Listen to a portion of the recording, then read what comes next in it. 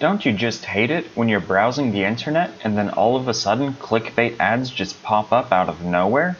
Well, what you need is the Pi-hole. What the Pi-hole does is it blocks ads at the DNS level. And if you're not familiar with what DNS is, here's a quick overview. Basically, computers don't talk to each other in terms of google.com. They use IP addresses. If we pretended computers could talk, this is how a conversation of looking up a website would go. Where is Google.com? Google.com is located at 216.58.194.78. Hey friend, what's up? Hi.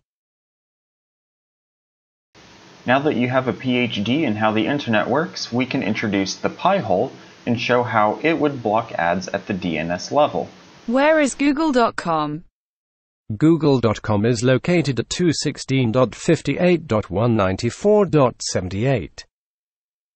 Hey friend, give me that sweet web page goodness.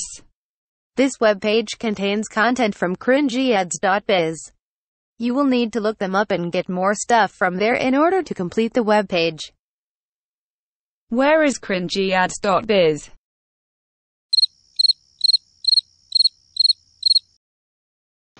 The reason that Pi-hole does nothing here is because it already knows that cringyads.biz is full of cringy ads, so it does nothing, meaning it does not ask the DNS server where that website is. Hey DNS server, where is cringyads.biz? New number, who this? So in the real world, that translates to whenever there's an overlay ad on a YouTube video, it doesn't load. When you go to the YouTube homepage, the banner ad doesn't load. One potential downside is that if you're looking for some parts for a project, if you click on one of the sponsored results up at the top, it's going to be blocked because it's a sponsored ad result. But if you were setting up a Pi-hole for a friend or a grandparent who's not very tech savvy and doesn't know what links are safe to click on, this could be a feature, not a bug. To put this to the test, I went to a website that claims to give you free cryptocurrency just for the heck of it. And as you can see in red, it blocked a lot of ads. But as you can see in green, some ads still got through. Other ads you're still likely to see will be on the eBay or Amazon or other website homepages where it's just links within the website. So besides just not having to look at ads and making things generally safer to click on, Let's say that you're the sort of person who live streams once a week and shows on that stream news sites. It sure would be a shame if some scummy ad is what got your channel demonetized. As I was researching and putting this project together for myself, one of the authors of a post actually responded in the comments with an extra set of lists of blocked domains. By adding that list into your Pi-hole, what it would do is block more ads. The default configuration, as of a week ago, blocks about 9% of the traffic on my network, which translates to 112,000 domains being actively blocked. With these extra lists, however, the blocked percentage goes up to 15.5%, and over 1 million domains are being blocked. Because I only visit about a dozen websites personally, I decided to get a bunch of websites to try out from Level 1 Techs, since they reference a lot of different news sites, and news sites are generally a pretty good source of ads. So the first one I tried was Variety.com, and with the extra strict settings, the website itself did not even load. With it on the default Pi-hole settings, it did load the website. However, the ad on the right hand column did not load. Good job, Pi-hole. With no Pi-hole blocking at all, I got a full screen ad. Great. Loading up NBC News with no blacklist, the website is fine with just a couple ads in the right hand column. With the extra blacklist settings in place, we can see that the header gets a little distorted, but there are no ads on the sidebar. Loading up a CBS Los Angeles news article, we can see with no ad blocking, we've got ads at the top and on the side.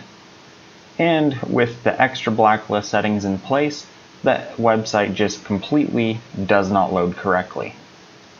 Loading up one of the level 1 Techs news stories from the Indian Express, we can see that the ad in the right hand column is blocked on default settings. And if we were to go with the extra hardcore blocking settings, the website itself doesn't load. However, not all news sites are utterly dependent on ads. We can see that even with the extra strict settings, Eurogamer loads just fine with a blocked ad. The Verge loads just fine and even VentureBeat loads just fine.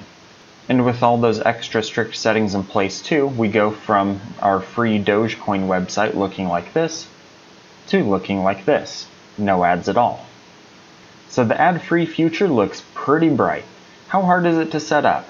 Well, as long as you have a Raspberry Pi running Raspbian, you type in this one command into the terminal, you follow some very simple setup instructions, and that's basically it for setting it up on the Pi. Now to extend the benefits of Pi-hole to your entire network, what you need to do is go into your router's DHCP settings and assign a static, unchanging IP address to that Pi-hole. And then what you're going to do is go into your internet settings and manually specify the DNS server as the Raspberry Pi. With the Raspberry Pi as your DNS server, what it's going to do is block all the requests for known ad networks and then forward the requests that are okay onto an actual upstream DNS server. The reason you need that static, unchanging IP address is so that when you tell your router to use a DNS server at a specific IP address that is the Raspberry Pi, every 24 hours when the IP addresses refresh, you don't end up losing that configuration and having no internet access at all. Hopefully you found this video super useful. If you have any questions, feel free to leave those in the comments below. If you have extra lists of ad networks that I should be blocking, please leave those in the comments below for the benefit of everyone. As always, like, share, subscribe, and I'll see you in the next one.